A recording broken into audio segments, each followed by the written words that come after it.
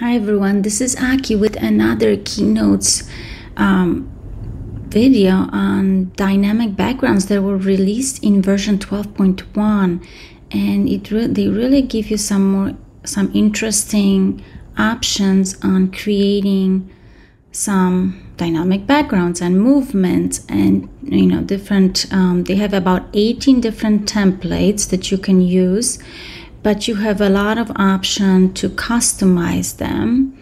Um, you can select different colors. Some give you options on speed, um, size, and so on. So I just want to kind of go through some of the ones they have. And obviously, you can control the text to make sure that it doesn't get lost in this background that you want to be also aware that this could be distracting. So you want to be cautious when you use this on your presentation.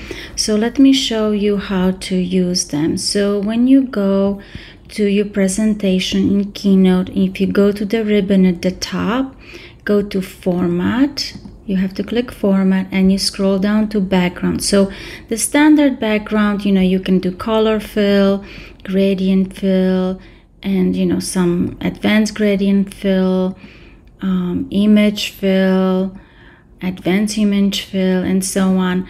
Um, but um, for our purposes we're going to select dynamic option on the right. And here are the 18 templates that I just briefly talked about and I showed you in the beginning of the video. So um, let's say if you select you just have to click that arrow to the right to go through all the templates and if you just hover over them you get the name of the um, the background option what it's called. Um, so let's see like if you select this one the one that we're just looking which is jade cliffs uh, you can preview the motion or not. Um, I'm going to I'm previewing the motion so I can see what's happening. And then you can also change the colors like location how much of each column is. Like this one has four different colors. If you want to change a color so you can just click single click on it and then you can just select different color. Um, the movement like this one has an option of movement um, what kind of movement it gets. And sometimes it's not clear what it means. You just have to move around and play around with it to get an idea how to control it. Like this one has option for height like oh, I like this.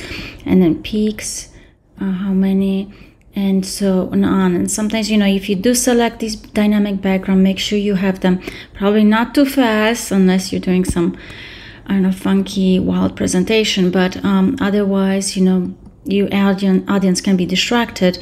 Um, you also want to make sure you have colors that contrast with your background so they don't get lost because like let's say if I you know took a color that's um, something like very dark it'd be hard to to see it if you if someone is watching the presentation.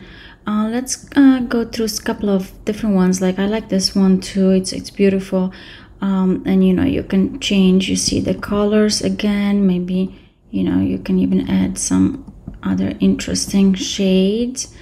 And then you can do speed and obviously you know you see this is the top speed. You can make it very slow so it's barely moving. Amplitude how much of it is okay i like this. This could be a good use in presentation maybe um, the wavelength how spread out it is focus. So this is a good one something maybe in the background that's barely moving. So you know you can play around with some of these options. Another one that i really liked um, there's some that are very subtle so like this one um, that's a really nice one uh, or this solar flare that's really nice.